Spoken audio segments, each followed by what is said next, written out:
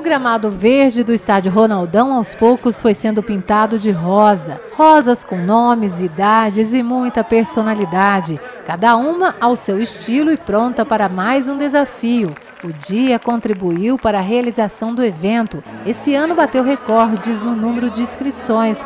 Mais de 550 mulheres acordaram cedo e dispostas a vencer mais esse desafio. O fato de estar todo mundo aqui junto é muito gostoso, é uma energia muito gostosa.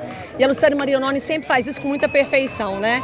E nesse ano a gente está aqui junto com a Unifenas também ajudando no evento, o que é muito legal, porque nós estamos aí também com curso estético cosmética, tem tudo a ver, as meninas estão panfletando lá de fora. Então nós estamos muito animados aí com a Corrida da Mulher. Sempre muito gostoso. A largada da corrida foi no Ronaldão. Depois elas passaram em frente ao shopping Poços de Caldas, seguiram para um trecho de terra que passou também pela zona rural perto do Vale das Antas. Os obstáculos foram muitos, a começar pelo sol forte que castigou um pouco as iniciantes. O domingo foi mesmo de superação. Registramos famílias com crianças, umas caminhando e outras sendo carregadas. A ideia é essa mesmo, incentivar todos para praticar essa modalidade que só cresce no Brasil. Valoriza muito o esporte, né? Ainda mais a, mulher, né, que tem um papel fundamental na, na nossa vida. E a Secretaria de Esporte fica muito feliz de participar desse evento e apoiar. Esperamos que a cada ano a gente venha apoiar mais em função desse, de, dessa, desse evento. A Corrida da Mulher está na sua quarta edição com três modalidades, 4, 6 quilômetros e a caminhada. E todo mundo quer ganhar.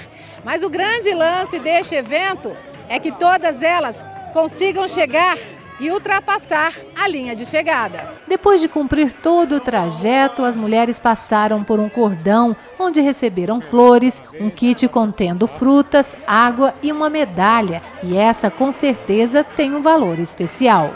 É muito gostoso, foi importante participar e estou muito feliz. Foi minha primeira corrida da mulher e eu gostei. O ano que vem, quem sabe, a gente melhora o tempo. Olha, sair do, do comodismo, do não conforto da gente vir correr no final é maravilhoso, no meio você fala, não vou dar conta. Mas é muito bom a gente sentir que se superou, é maravilhoso, é uma sensação maravilhosa. É, cada ano a gente tenta né, fazer o melhor da gente. Né. Eu não sou assim corredora de velocidade, eu sou mais de. sou fundista de longa distância e hoje eu tentei os quatro. Eu acho que fui bem. A atenção foi toda para elas, uma piscina com água e gelo para recuperar a musculatura da mulherada. A água com gelo, ela ajuda na recuperação muscular. As fibras musculares, elas recuperam mais rápido. Então é importante, assim, depois de um treino pesado ou de uma prova, você pegar uma água com gelo e entrar e ficar uns 10, 10 minutos, na verdade é o tempo limite. Você não pode ficar mais que isso, senão pode ser pior a situação. Então 10 minutos você entra na água com gelo, fica ali, no começo dói tudo, mas na hora que você sai mais tarde, aquela dor tardia que vem dia seguinte de prova não existe. Tipo, amanhã você consegue voltar a treinar numa boa, que você não sente mais nada. Os cuidados não pararam por aí. As corredoras aferiram a pressão e receberam aquela massagem para relaxar. Teve participante que precisou até de cuidados médicos. Foi o caso de Luciana, que caiu durante a corrida, mas isso não a desanimou de concluir a prova quando a gente fala em provações da vida, a gente aprende que as provações elas só são provações quando a gente passa por elas. E concluir a prova? Consegui concluir, porque eu vim aqui e falei para as minhas amigas, aconteça o que acontecer, vocês vão cruzar a linha. E eu cruzei também. A atleta Giovana Martins, que é bicampeã na maratona da Disney, veio a Poços e sempre com o mesmo objetivo: incentivar as mulheres para a prática de exercício. Toda vez a maratonista é uma atração à parte. As participantes querem tirar uma foto com ela. Todo ano chega janeiro, já começa a contar os meses para vir aqui em março. Para mim é um grande prazer, porque essa corrida tem uma grande importância para as mulheres. É uma modalidade que vem crescendo e vem tirando a mulher de casa, vem curando a depressão da mulher, vem valorizando a mulher. Dentro da programação da Corrida da Mulher, este ano a organização fez uma linda homenagem ao Chico Corredor, que desenvolvia na cidade um projeto social há mais de 30 anos. E a Joana, a tia Joana, como é conhecida entre a mulherada, trouxe as crianças, né, para fazer essa homenagem. Como é que foi, Joana? Olha, foi uma homenagem linda que, que a organização da prova, né, a Luciana Marinoni junto com a Carol, resolveram fazer para ele. Elas também estavam junto com ele dentro do, do, projeto, né? Então a gente resolveu fazer essa última homenagem a uma pessoa que viveu do esporte, né? Com as crianças. Ele dava vida por, pelo projeto do amanhã. E hoje tem muita gente aqui que é fruto do projeto dele lá atrás, né? Exatamente. Não só aqui, mas eu acho que na região toda.